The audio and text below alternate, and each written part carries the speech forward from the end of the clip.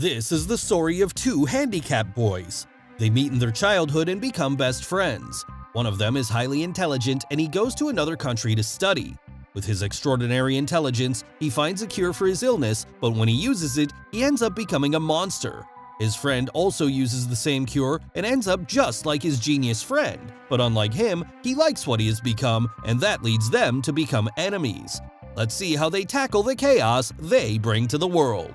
Welcome to Movie Recall. In today's video, we'll be going through the 2022 action superhero film Morbius. It's time to recall, let's get started, turn on subtitles, and spoilers ahead. The movie starts in Costa Rica and Dr. Morbius, along with his teammates, goes to a cave on a helicopter. The leader of the expedition is Dr. Morbius, and he asks his team to set a trap at the entrance. It is revealed that the cave is home to a peculiar breed of bats. They are more powerful and larger in size. They are known as vampire bats. As Morbius gets to the cave, he makes a cut on his hand in order to lure the bats out with the smell of his blood. Hundreds of bats come flying out of there, and his teammates get scared and run out of there, but Morbius is not scared and stands still like he is waiting for something. This is where the scene ends. We are then taken to 25 years ago in Greece, and there we see a young Morbius who is a handicapped boy and has trouble walking. Morbius has a blood disease and he does not have much time left according to the doctors. Morbius is then joined by another boy named Lucian in his hospital. Morbius welcomes his surrogate brother Lucian and goes on to name him Milo. The two boys suffer from the same blood disease and their doctor takes care of them. They bond over their shared blood illness and desire to be normal. After a while, Milo's machine malfunctions and he passes out. Morbius quickly uses a spring from his pen to fix the machine and Milo gets better and wakes up again. Morbius is an extremely intelligent boy and the doctor is really impressed by him. So their adoptive father and hospital director Nicholas arranges for Morbius to attend medical school in New York while he focuses on caring for Milo. While Morbius is gone, the other boys at the school bully Milo and beat him up until he is saved by Dr. Nicholas. Despite his illness, Morbius manages to get his degree by just the age of 19 with his extraordinary intelligence and becomes an impressive doctor. He works with synthetic blood and saves countless lives. Everyone appreciates his offers, and he is nominated for a Nobel Prize, but he publicly declines the Nobel Prize. One day, Morbius is working in his lab that is in New York. His lab is known as the Horizon Lab.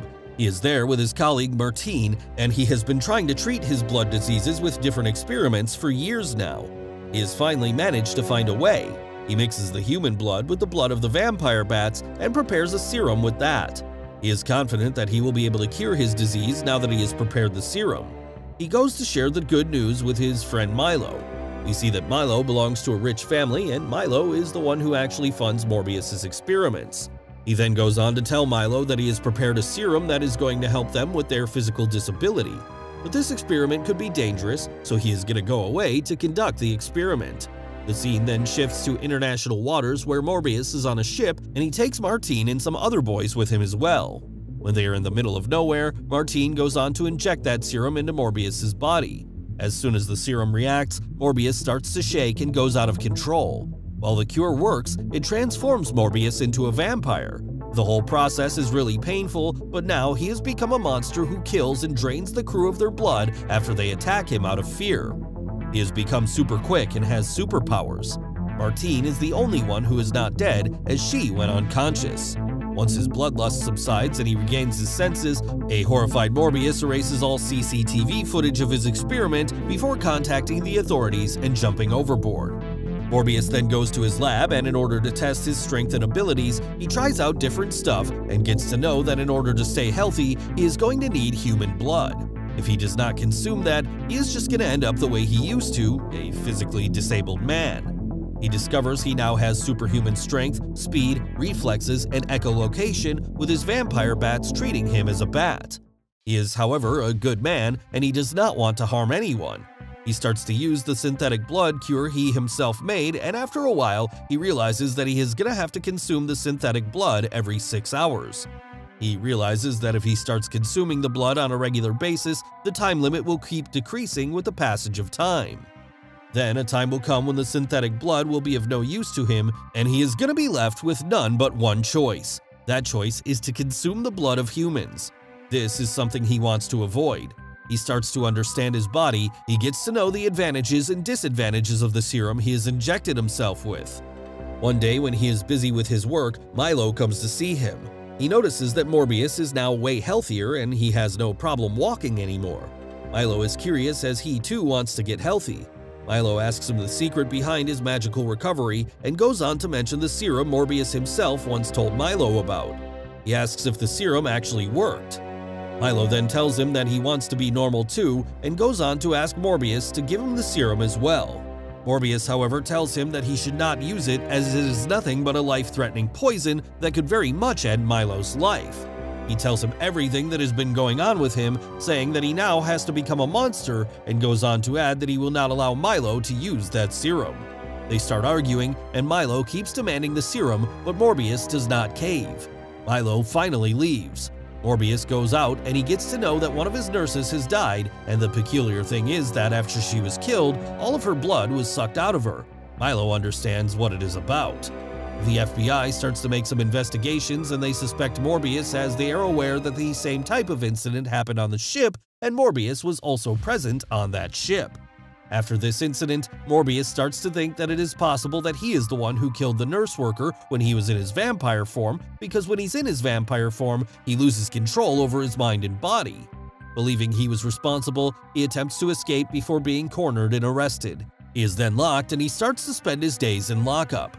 This is where his childhood friend Milo comes to see him. He has a cane in his hand and a packet that contains blood which Milo leaves there when he goes back. Morbius now understands that Milo has injected himself with that serum and that is why he too is cured. He also understands that the nurse was not killed by him, it was actually Milo who killed her when he was in his vampire form. Morbius is now furious with himself for inventing that serum. He then starts to think and again gets scared at the thought that Milo now has a bloodlust, and it is very much possible that he could be killing other people too. Morbius decides that he needs to get out of there, so he breaks out of the prison and right away goes to see his friend Milo. He tells him everything that he has gone through and goes on to add that he has become a monster just like him. He tries to make him understand that this is not good news and that they could be really dangerous to the others out there. Despite everything, Milo is not ready to listen to his friend. He starts to kill people in front of him, and Morbius finds himself unable to prevent it. Milo is unrepentant and he goes on to confess to his bloodlust-induced crime and urges Morbius to embrace his powers as he has. Trying to knock some sense into his friend, Morbius tells Milo that they now possess a power that is not possessed by anyone else in the world, and if they decide to work together, they could pull off wonders. Milo, on the other hand, wants Morbius to do as he plans, but Morbius declines and tries to run out of there. But Milo gets in the way. As he gets to know that Morbius is not going to help him, he tries his best for Morbius to get caught by the police or be killed. Morbius now understands that his friend has now become his worst enemy. He goes to his lab and tries to come up with a cure that could reverse the effects of the serum and make them as they were before they injected themselves with that serum. He successfully prepares a serum, he now plans to use it on Milo. Milo has become really powerful as he has been drinking human blood by killing everyone he comes across. His bloodlust has increased to such an extent that he even kills his doctor and sucks the blood out of him as well, and then he injures Martine as well. Morbius gets to know this, and when he rushes to her and takes her in his arms, he sees that she is badly wounded. He sees that Milo has become so powerful compared to him, and on the other hand, he is really weak because he has only been using synthetic blood, and Milo on the other hand has been killing countless people and drinking their blood. Martine, who is badly wounded, barely finds the strength to speak and tells Morbius that he has to stop Milo because he has not become a monster and that he is going to bring chaos into the whole city if he is not stopped. She tells him that if he wants to fight Milo, he will have to consume human blood as well because Milo is really powerful and Morbius on the other hand is not because he has been trying to stay normal by using synthetic blood.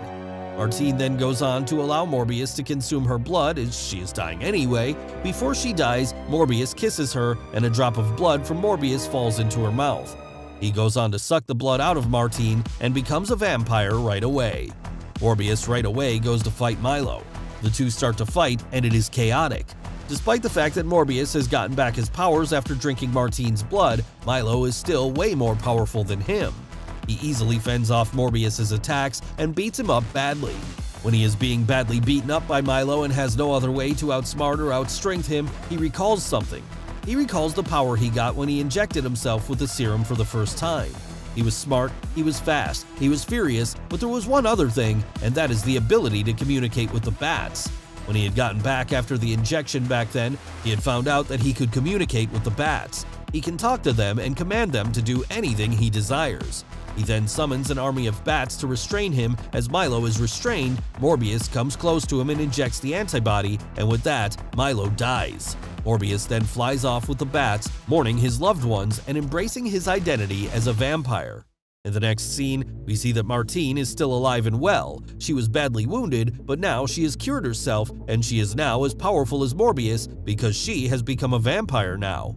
She became a vampire by drinking a drop of blood from Morbius when he was kissing her. In the post-credit scene, we see that Adrian Toomes finds himself transported to Morbius's universe.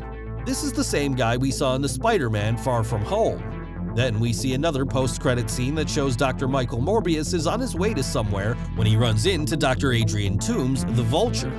Morbius asks him what he is doing there, and the Vulture tells him that the reason behind him being there is the Spider-Man. He then goes on to tell Morbius that there are a lot of people like him out there, and they only have one enemy, and that is the Spider-Man, at which Morbius says that this is going to be fun. Thanks for watching. Please like and subscribe, and click the bell icon to get new movie recaps.